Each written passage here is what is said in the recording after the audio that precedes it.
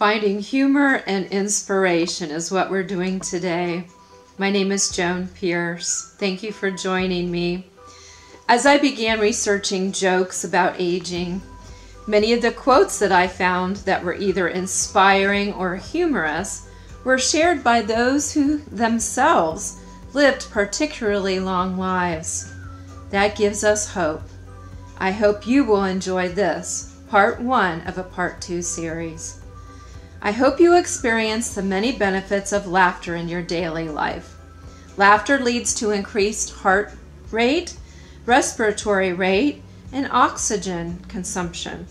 After intense laughter, the body muscles relax. Exposure to a humorous stimulus can also decrease anxiety. Laughter is associated with the improvement of natural killer cell activity the immune cells that kill cancerous cells and prevent some types of viral illnesses. So, laughter truly is good medicine. I hope you will find some things today that you find funny. When it comes to staying young, a mind lift beats a facelift any day. That's what we're going to do. We are going to have a mind lift today. These are some inspirational quotes from a book called Aged to perfection, which I know you are. Youth is a gift of nature, but age is a work of art. You are a masterpiece. The aging process is a lot like grapes. Some turn to vinegar, while the others turn to wine. And I know you are a fine wine. You have to climb the mountain to appreciate the view. I am old enough to know the rules and smart enough to break them. I know there's some people out there that that fits to a T. Young at heart, slightly older in other places. For me, it's lots of places. Growing older, we learn miracles are great, but they're so darn unpredictable.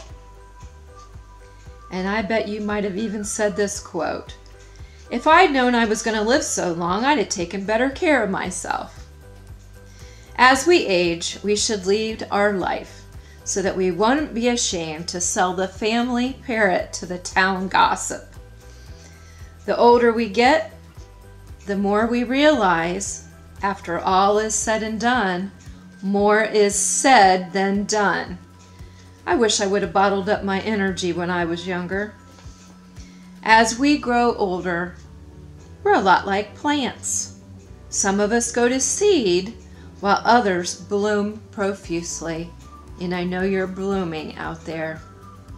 So here are some quotes from some famous folks who lived very long lives. Gloria Swanson said, I think this talk about age is foolish. Every time I'm one year older, everybody else is too. Now that's a good way to look at it. Gloria lived 84 years. Fred Astaire said, Old age is like everything else. To make a success of it, you've got to start young. Fred Astaire was a dancer, singer, actor, choreographer, television presenter, widely considered the most influential dancer in the history of film. He lived 88 years. The poet and children's author Elizabeth Coatsworth said, Outwardly, I'm 83, but inwardly, I'm every age, with the emotions and experience of each period. How brilliant! She lived 93 years. Satchel Paige said, Work like you don't need the money. Love like you've never been hurt. Dance like nobody's watching. Leroy Robert Satchel Paige was an American Negro League Baseball and Major League Baseball pitcher who is noted for his longevity in the game. He lived to 75. Mark Twain said, A lie can run around the world six times while the truth is still trying to put on its pants. Boy, isn't that the truth? And wrinkles should merely indicate where smiles have been. I hope that you have smiley wrinkles. Mark Twain lived 74 years. Bette Davis, Bette Davis Eyes, lived 81 years. She said, "Old place, old age is no place for sissies." Another true statement. Good old George Burns passed at the ripe old age of 100. You can't help getting older, but you don't have to get old, he said. He was one of the few entertainers whose career successfully spanned vaudeville, radio, film, and television. Frank Lloyd Wright said, The trick is to grow up without growing old. And he lived 91 years. Bob Hope said, You know you're getting old when the candles cost more than the cake. He also lived to be 100 years old. I bet it had to do with all the laughing that he did and all the laughter that he shared. J.B. Priestley lived to be 89 and said, When I was young, there was no respect for the young. And now that I'm old, there's no respect for the old. I missed coming and going. Billy Casper, a golfer, lived to be 83 years old, and he said, Like a lot of fellas out there, I have a furniture problem. My chest has fallen into my drawers. Poet Robert Frost lived 88 years and he shared a diplomat is a man who always remembers his wife's birthday but never remembers her age. What a good guy. Bette Midler is still vibrant at age 74. She said, After 30, a body has a mind of its own. I think mine had a mind of its own even before then. Inside every 70 year old is a 35 year old asking what happened. This is a quote from Ann Landers. For 56 years, the Ask Ann Landers syndicated advice column was read across North America. She lived 83 years. She also said, At age 20, we worry about what others think of us. At age 40, we don't care what they think of us. At age 60, we discover they haven't been thinking of us at all. Dorothy Parker, writer and poet, lived 73 years, and she said, Take it easy. That's all you have to do. You're the only one who is passionately interested in your age. Other people have their own troubles. Another true statement. By the time we hit 50, we have learned our hardest lessons. We have found out that only a few things are real important. We have learned to take life seriously, but never ourselves. Marie Dressler, actress, said that. George Burns again. Retirement at 65 is ridiculous. When I was 65, I still had pimples. Agatha Christie said, an archaeologist is the very best husband any woman can have. The older she gets, the more interested he is in her. And Agatha lived 85 years. Joan Baez, who's still alive, said, You don't get to choose how you're going to die or when. You can only decide how you're going to live now. What a great statement.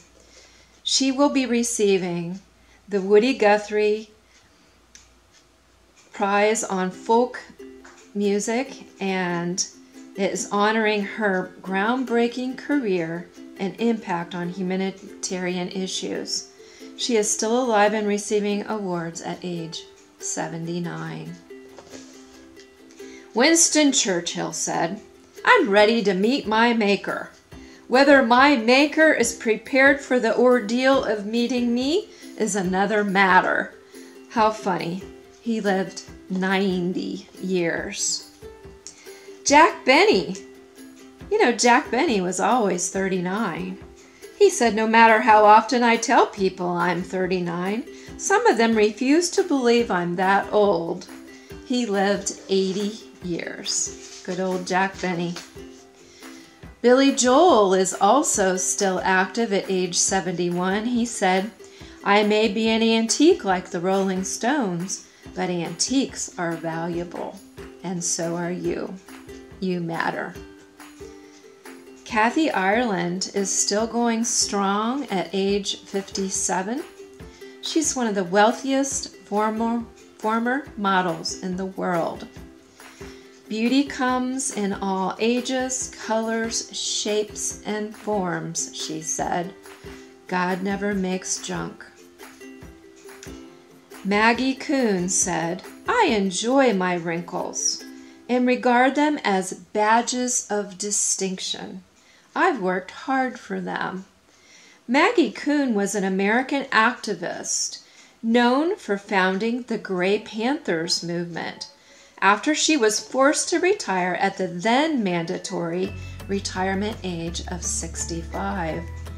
The Gray Panthers became known for advocating nursing home reform and fighting ageism, claiming that old people and women constitute America's biggest untapped and undervalued human energy source.